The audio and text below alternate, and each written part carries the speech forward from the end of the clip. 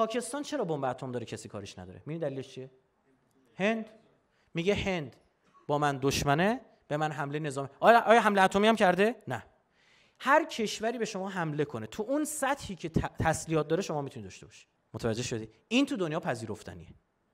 بعد آمیایلون وزیر اطلاعات اسبق شیمبت اسرائیل یا شاباک میگه آقا جون ما بررسی کردیم نهایتا اگه ایران بزنیم 18 ما بعد قطعا آزمایش اتمی داره. بعد اون دیگه نمی‌تونیم ایران کاریش کنیم.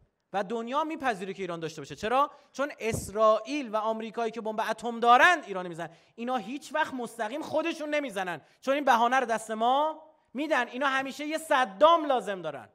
برای همین بنده چهار ساله دارم داد می‌زنم صدام جدید. صدام جدید صدام جدید هی به کشورهای خلیج فارس دارم نگاه می‌کنم و دارم میگم عربستان سعودی و ناتوی عربی صدام جدید ایناست. قرارداد 500 میلیارد دلاری تسلیحاتی برای چی رفتن بستن؟ برای چی داره موشک دانگفنگ سه می‌خره که 2000 کیلومتر بردشه؟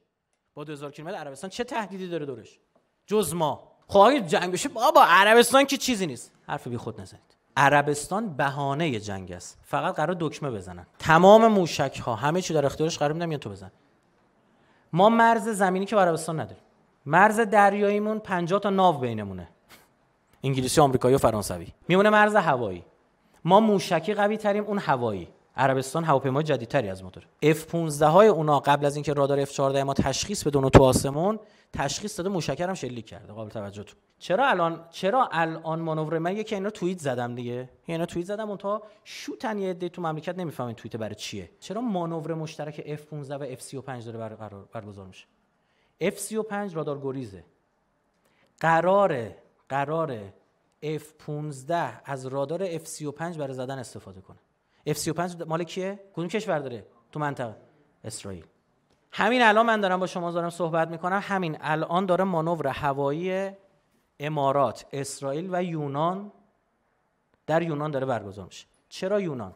من رفتم بررسی کردم دیدم سیستم و مدل S300 که یونان داره همون مدلی که ما داریم. دارن مانور برگزار می‌کنن که چطور S300 رو از کار بندازن. بینم دقت کنید چرا ترامپ از موقع که اومده سر کار و نوکان ها دارن تولید نفت در آمریکا رو افزایش میدن. اینها دارن دنیا رو برای روزی که تولید نفت کاهش پیدا می‌کنه آماده می‌کنه این چیه؟ اون چه روزیه؟ عدم خرید نفت از ایران فقط بگید نیست چون همین الانش هم نمی‌خرن. جنگ بین دو کشور نفتی. تحلیل دیگه بگو نیست. من از خدام همه اینو که میگم همش غلط باشه. چرا؟ من زن و بچه دارم. تو هم که دارم زندگی می‌کنم. خیلی واضحه.